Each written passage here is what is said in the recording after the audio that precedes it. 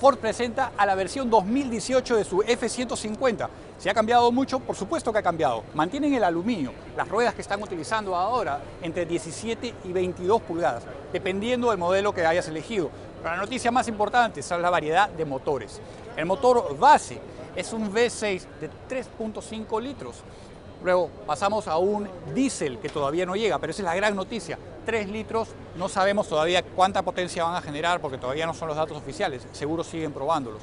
Luego existe un EcoBoost V6 y para terminar un V8 de 5 litros. Si esos números les suenan conocidos, es el mismo motor del Mustang. Ahora, las dos versiones más poderosas traen transmisión automática de 10 velocidades. En esta versión 2018 vemos nuevos faros, en este caso completos de LED, porque esta es una de las versiones supuestamente mejor equipadas.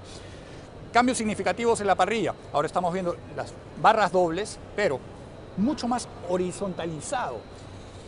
Esta versión no es la más cara de todas porque sabemos que están tratando de diferenciarse las versiones básicas de las más caras y lo que están haciendo para ello, están utilizando material cromo para las más caras.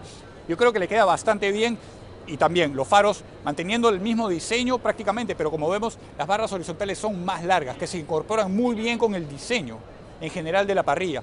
Le da la apariencia de ser más ancha. Ya sabemos para qué son esas barras horizontales. Como sabemos, esta camioneta tiene una gran variedad de versiones que se adaptan muy bien dependiendo de la necesidad de cada uno de los usuarios, ya sea para trabajar o para vacilarse, como ya la habíamos probado en la Raptor.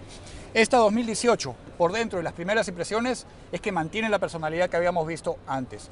Mantiene la, la palanca de, de la transmisión automático con gatillo detrás, mantienen, y eso es algo que esperaba que lo cambiaran a digital, mantienen los, el, el indicador de las revoluciones y el velocímetro analógico. La pantalla digital es más grande al frente. En este caso, por supuesto, no tenemos la llave, es tan solo para el auto show. Pero seguro las gráficas, por lo que hemos leído, han sido actualizadas. En cuanto a los materiales, realmente no vemos una mejora significativa frente a las versiones pasadas, pero yo creo que justo, porque recordemos, esta es la camioneta más vendida en el mundo y no van a cambiar algo que no está roto, pero sí vemos algunos detalles que son personalizables. Pero para más información sobre esta camioneta y el resto del Detroit Auto Show, visita autos.univision.com.